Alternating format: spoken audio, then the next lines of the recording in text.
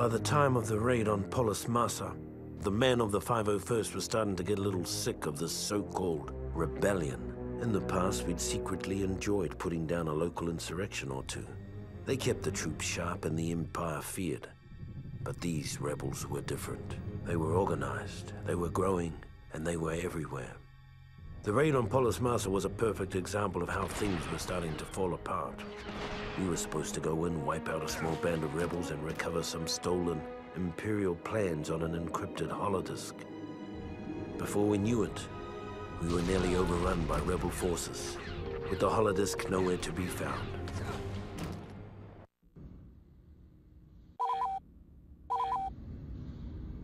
All right, men. Lord Vader wants this raid done by the book. Our first objective is the comm center, just beyond this hangar.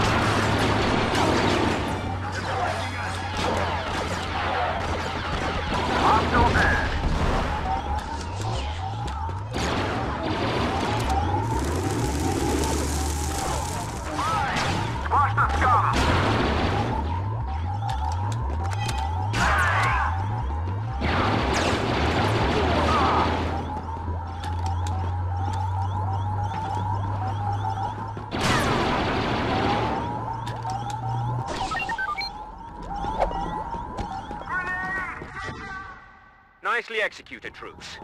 Now it's time to make our way to the base command building on the far side of the facility. If our intelligence is right, along the way we'll find a rebel holodisk containing some very important plans. Good shot. I want those rebels dead.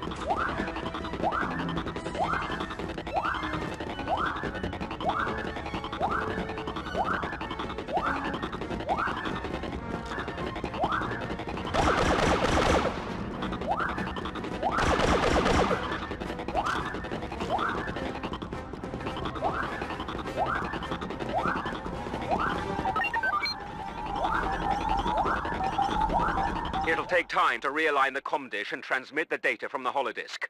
You'll have to hold off the rebels until the transmission is complete. Do not let the comm facility fall into enemy hands.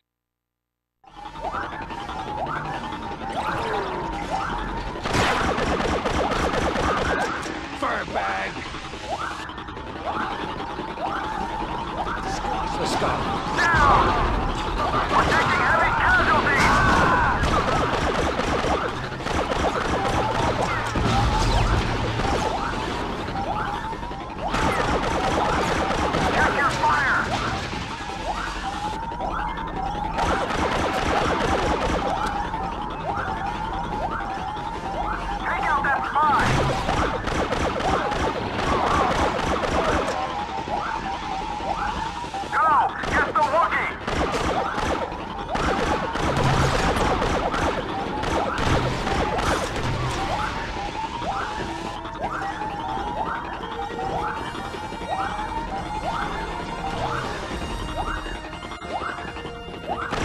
Imperial officer, take him out!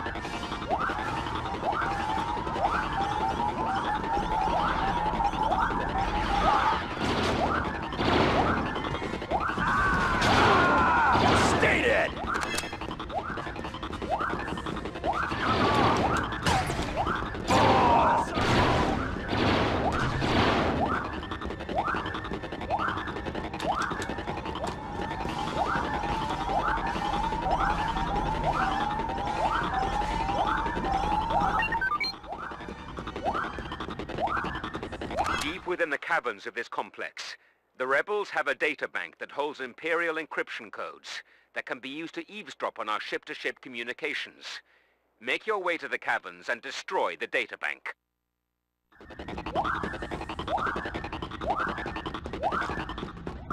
Five!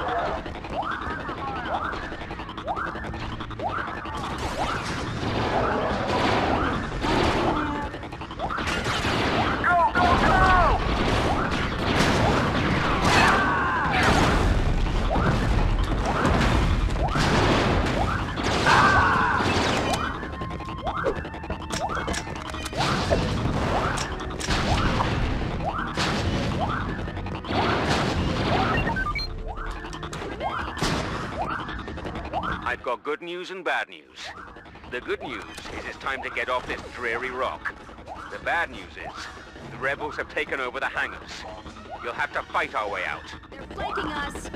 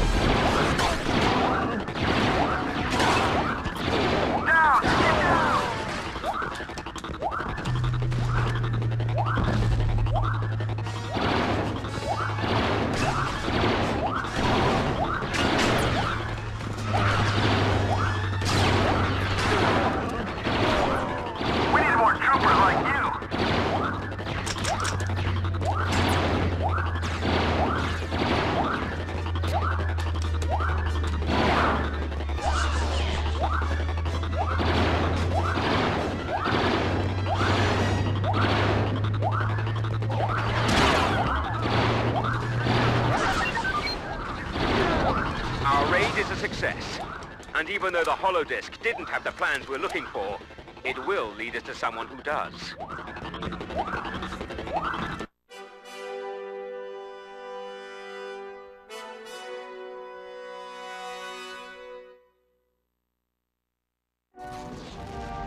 Even though the Polis Massa raid was only a partial success, we finally had a lead on the whereabouts of the Death Star plans, which suited the 501st just fine.